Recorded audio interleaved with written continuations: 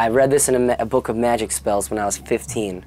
You sleep with an orange underneath your arm, okay? You can do two, but you can't squish them. You gotta sleep upright, orange underneath your arm, tape it, whatever. The next day, you give that orange to someone who you like have a crush on or who you really care about.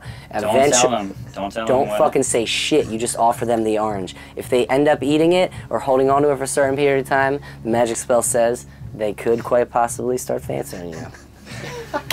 No, what if they won't take the orange? You're fucked. I can't get started from the part where I left off yesterday. Should have spent my time a little wiser. The way that we communicated with each other during the writing of this album was incredibly different from the last two, and it, it enhanced the, the, the quality of the music for us. I, I'm not afraid to be cliche and say that it's our best album. The reason why it's cliche is because it's fucking, you know, true sometimes.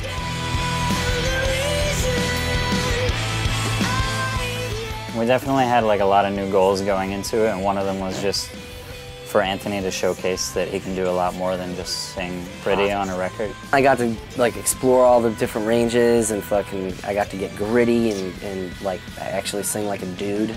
And uh, I got to I got to like I got to experience what it was like to share in like the songwriting process. It totally makes the record like more of a Circa Survive record and less of like, you know, like some dipshit trying to sell a story over prog rock shit. And,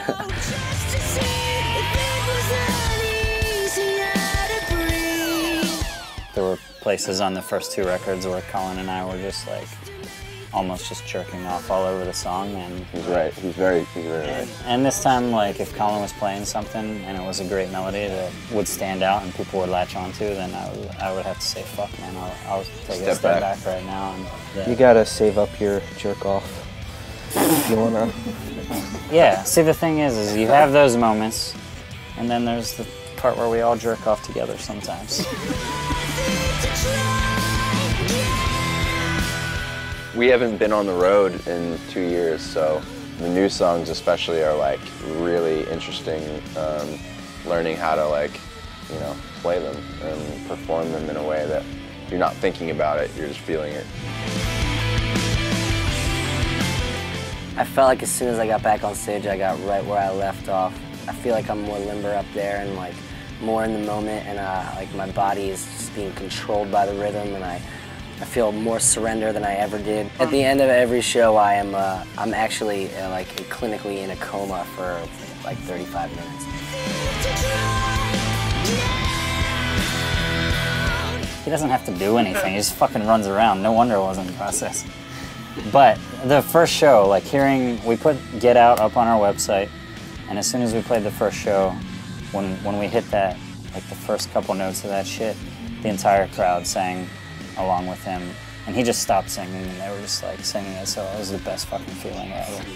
You know, it was like, there you go, there's all the past two years, everything that we've like worked for and suffered through and, and spent our energy on just we it was all worth that right there.